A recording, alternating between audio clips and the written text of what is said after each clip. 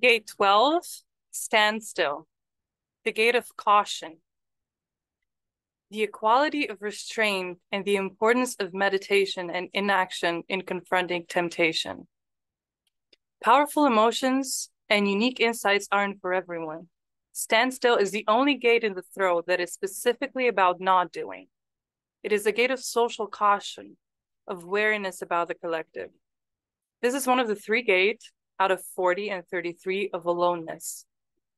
Since this is the gate of the mechanical expression of the emoting stream, its caution is naturally rooted in its mood.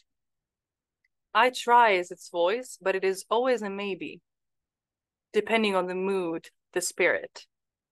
The individual always faces resistance, and it is natural to be hesitant about social interaction. This gate is a destiny of familiarity bringing contempt.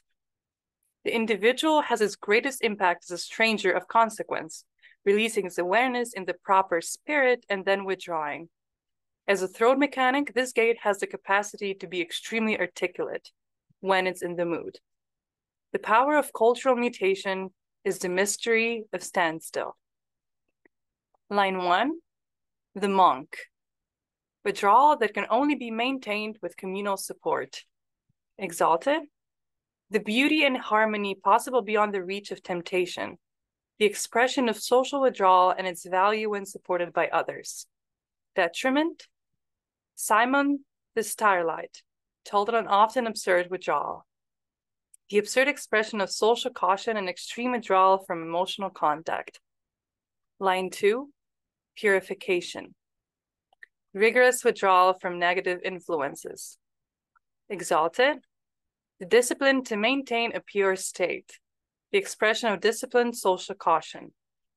Detriment, the boredom that arises out of lack of stimulation, caution that manifests boredom and the expressed desire for stimulus. Line three, confession, the process of self analysis. Exalted, the recognition of inadequacies and the purging of unjustified vanities the expression of inadequacies in social interaction that leads to self-analysis and caution. Detriment, a perverse and often exaggerated self-hatred. Inadequacies in social interaction that lead to the expression of self-hatred. Line four, the prophet. The ability to foresee and plan for the end of standstill. Exalted, the rousing of the stagnant for communal preparation the ability to foresee and express the need for social interaction, and an end to caution. Exalted, detriment, the voice in the wilderness, the expressed need for social interaction that falls on deaf ears. Line five, the pragmatist. The success of restraint lies in not abandoning the lessons learned when the phase ends. Exalted, Light is always conscious of darkness. Caution is an expression of social experience. Detriment, the tendency to remember only the most painful lessons learned. Caution, which is conditioned by the most painful social experiences. Line six, metamorphosis. Faith in and energy applied towards change and the emergence from standstill.